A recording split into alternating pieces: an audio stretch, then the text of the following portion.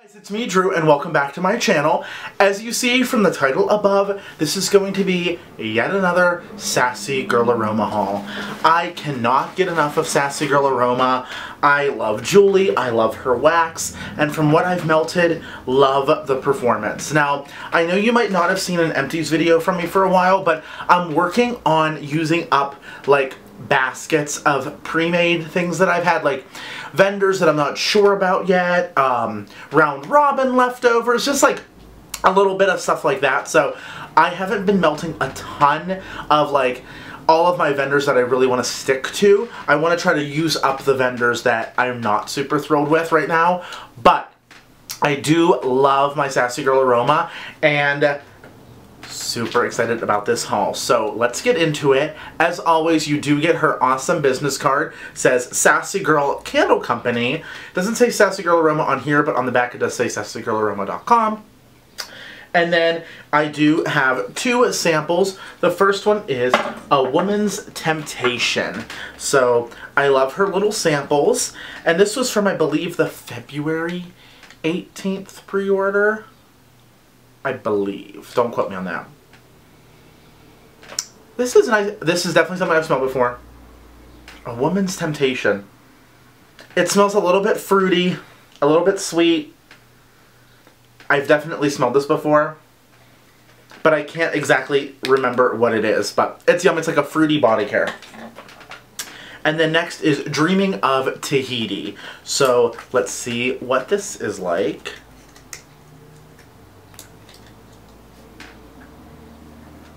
This also smells like something I've had before in candle form. Or is it body care? It's so hard to tell because so many body care things have turned into candles and vice versa. When I think of Tahiti, I think of like those tiare flowers, like those white gardenias and tuberoses, but it's not like that at all. It has kind of like a sweet orange blossom note. Could it be? I'm not exactly sure, but yeah, it's yummy. There's no notes on her samples, so I don't exactly know, but super excited on those. So with this order I placed, I've got a ton of, of course, her favorite, my favorite, Brittles. And then I did get one loaf. So I think we'll start with the loaf. I got a loaf in on the pier. You guys, you guys, you guys, if you know me, you know I love Summer Boardwalk and Cider Lane. Those are my two all-time favorite fragrances from Bath & Body Works. And on the pier is a dupe for Bath & Body Works Summer Boardwalk. And this says caramel drizzled popcorn with sweet candy apples blended with sweet cream and a touch of sea salt.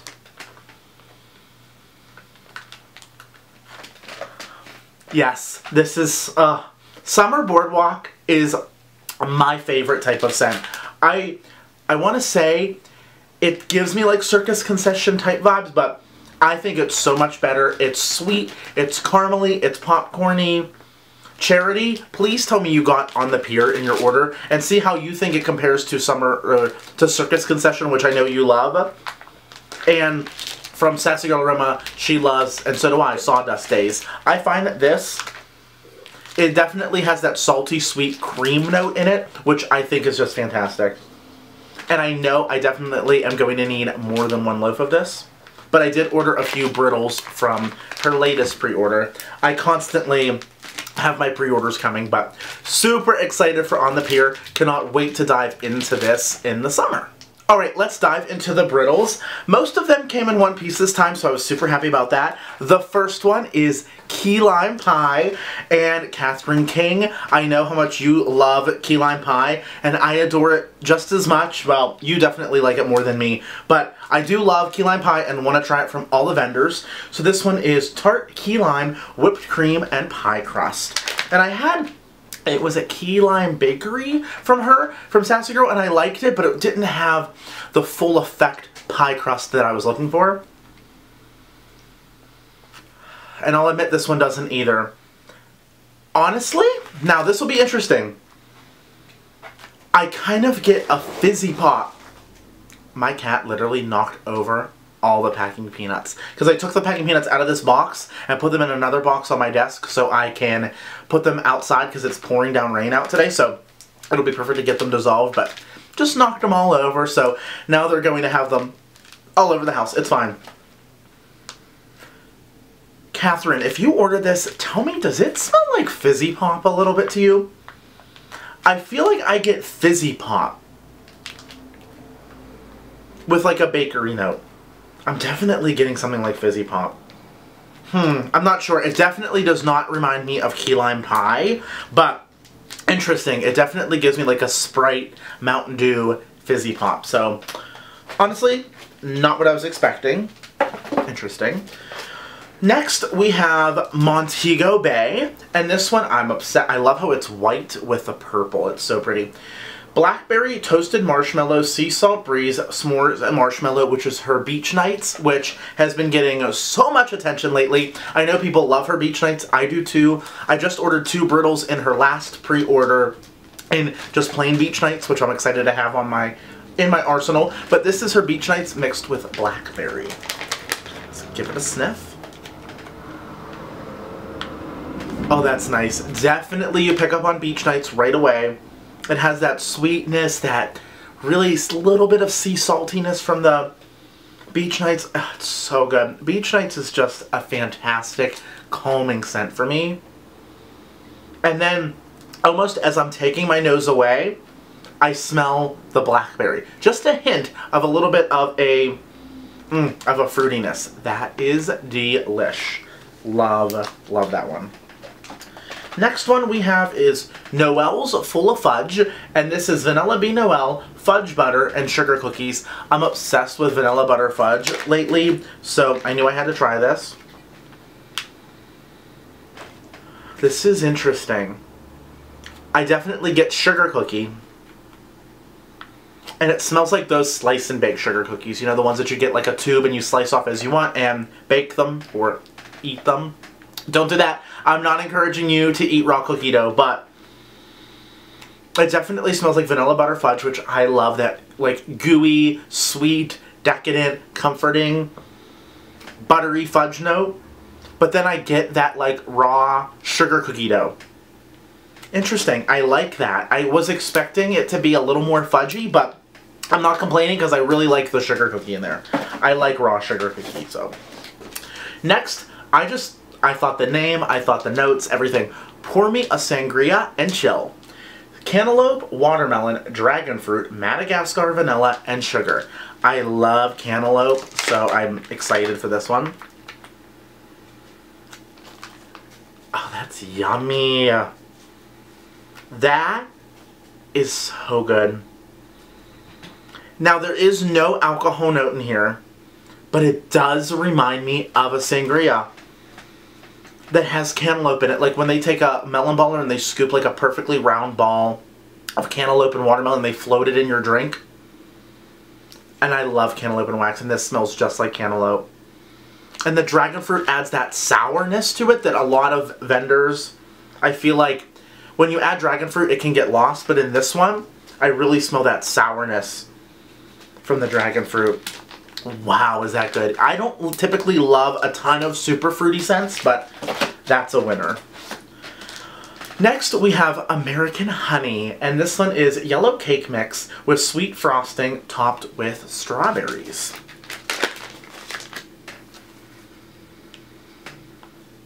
It's very light. I'm not getting a ton from it, to be honest. Hmm, it definitely gives me cake vibes but I'm not picking up on strawberry, really. It kind of just smells like a pretty plain cake. So, with some cure time and getting this melting, I'll be curious to see if like the strawberry note comes out.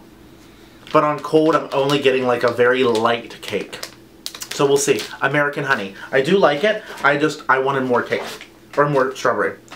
Now this, guys at the North Pole. I think I talked about this in a video, my last Sassy Girl haul, not really sure. Everybody is raving about this, and I know like at the North Pole doesn't scream April, but it's vanilla, it's peppermint, and people like to melt peppermint at night. I like to melt peppermint at night, but everyone says, I know, I know peppermint and vanilla sounds so like everybody does it, but Julie's is so creamy. So it says sweet peppermint sticks with a creamy, rich vanilla.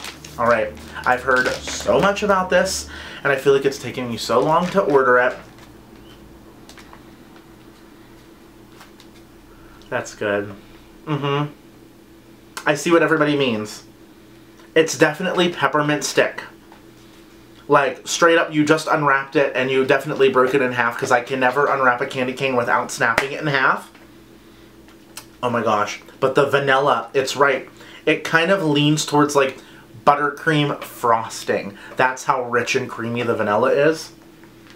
But blended with that peppermint, oh, oh my gosh, is this decadent.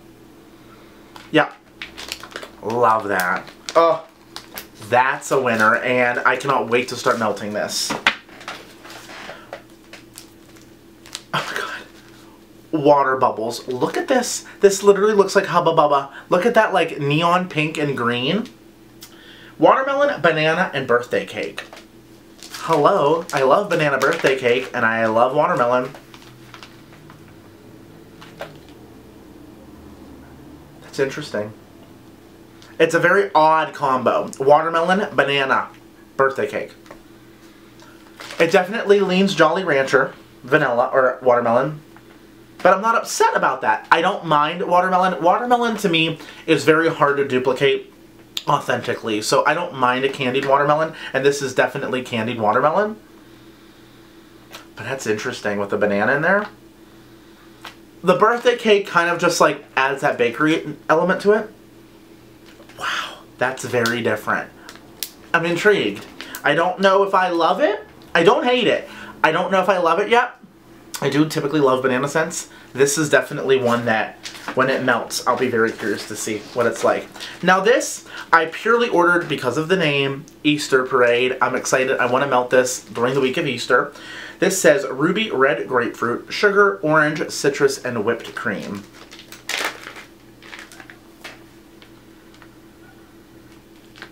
I like this. If you remember, I did a as a Beezy's tart in like zesty grapefruit in the round robin. That was like way too overwhelming grapefruit. I like could not smell it. I still have it here. I don't know when I'm gonna melt that. But this, this is grapefruit done right. This smells like a big juicy pink grapefruit loaded with sugar and it's super cold and you just like take a spoon into it. Oh, that is yummy. That is really, really yummy. Easter Parade? That's a winner. And I mean, it doesn't necessarily need to be Easter to melt this. I think this is a good one if you need like a wake up in the morning because that grapefruit there, super zesty, super bright. Oh, I, I really like that one. Moving on, we have Driscoll. Now, I ordered this one purely on the description and a scent memory.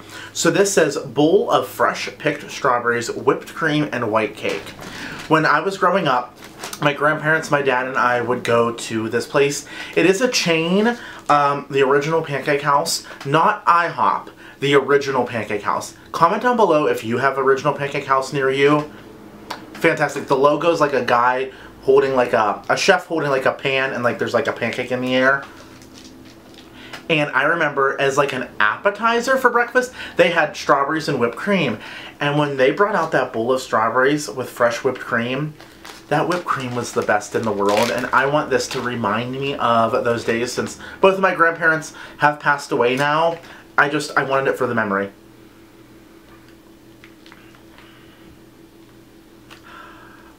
I love strawberry.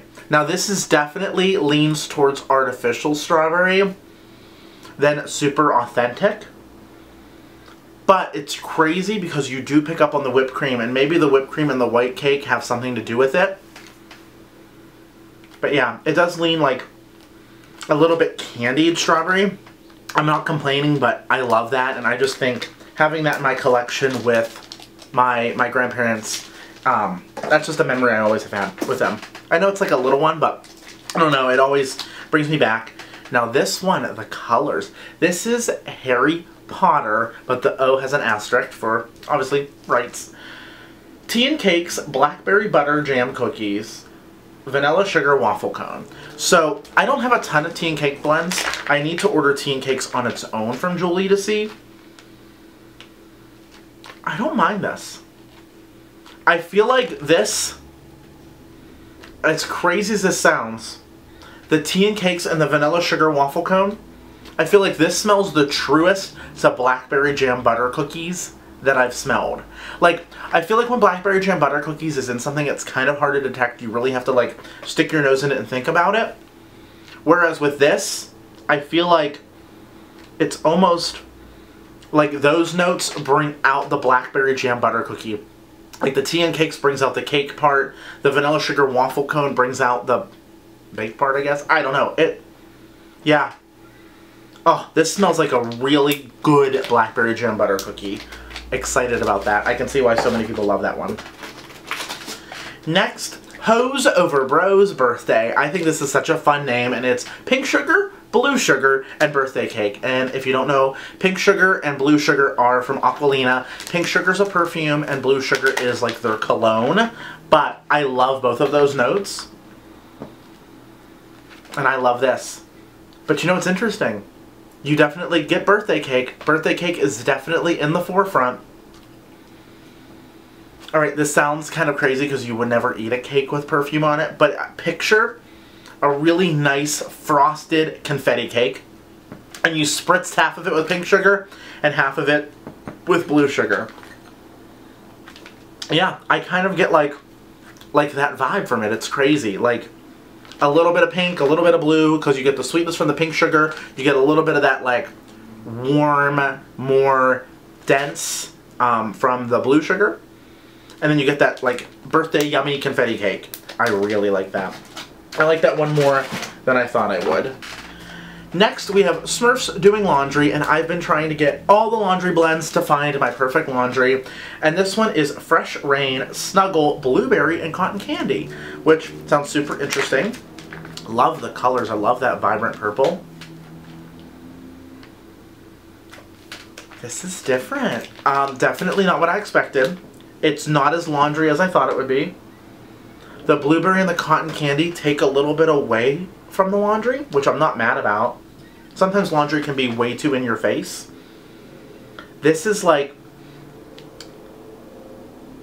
Maybe it's the fresh rain. That's really nice. Well, okay, so now that I'm sitting here reading this, Fresh Rain Snuggle, Snuggles Fabric Softener. So it's not really laundry detergent. That's really nice. It's a very comforting, warm, like, if I was doing laundry, this was the scent of my fabric softener, and I put that on my robe, and I, like, wore my robe fresh out of the wash, I'd be like, or out of the dryer, it just smells comforting and a little sweet. That is really good. Next one is Berry Cheesy, and this is Wildberry Mousse and Smooth Creamy Cheesecake. I feel like Wildberry Mousse has been like slept on in the vendor world for a while. In the vendor world, it seems like things like come and go. Like right now, Palo Santo, huge trend. Warm vanilla sugar, huge trend. And I feel like Wildberry Mousse was a big trend, and now it's not as much. This just smells like Stop it, cats! They're messing with my lights. Like a berry cheesecake. Yeah, like a very berry cheesecake. But not like pie crust or anything like graham cracker crust. Just like a very creamy berry cheesecake filling, should I say. Yeah, that's a very cheesy one. Oh gosh. I need sleep. Alright, next this is one I'm very, very, very curious about. Now, I have a little, um, like, correction from my last video. I said that the one, I forget what the name is, but it was supposed to be the Fluffy Towels dupe. It is not. This is the Fluffy Towels dupe. Time for jammies. Clean laundry straight from the dryer. So, this is supposedly the fluffy towels type from Yankee Candle. I haven't smelled anything like it, and I know Jessica D says the same thing. We love our fluffy towels. Let's see. Nope, doesn't smell like it. It's that sweet scent again. Like, it's almost like too sweet. I don't mind it, but it's not my favorite laundry. It definitely smells like laundry, but it's a little bit too sweet laundry. Yeah. I'll let it cure, of course, and melt it, of course, to see, but right now it's a little too sweet for me. It's okay. Can't win them all. Next one is Uncle Tom's Cabin, and this is key lime lemon curd birthday cake. I love lemon and lime mixed together. This is nice. This is nice. The key lime is definitely detectable. This smells more like key lime than the key lime pie does. This one smells more like key lime. Obviously key lime and lemon, but I'm trying to think of like how to describe it. Almost like a key lime custard. Like if you went to like your favorite like frozen yogurt place and they have key lime custard, you try that. That's kind of what it smells like because frozen yogurt itself is a little bit more tart because of it being yogurt versus ice cream and I feel like the lemon kind of gives that like tartness that resembles like uh, lime custard. I like it. This next one is watermelon bubba gum. So it's bubba gum. It does not bubble gum, bubba gum. And this is watermelon blended with bubble gum. So the description is bubble gum, but the name is bubba gum. I only ordered this because I don't have any bubblegum scents really in my collection. Just the one from Scentsy, and I could not stand that. I actually had to change some more warmers. I can tolerate this, but it's not a favorite. Yeah, I think I just need to write off that bubblegum scents are not for me. I don't know why. It's just, I, I just don't enjoy them. I don't know why.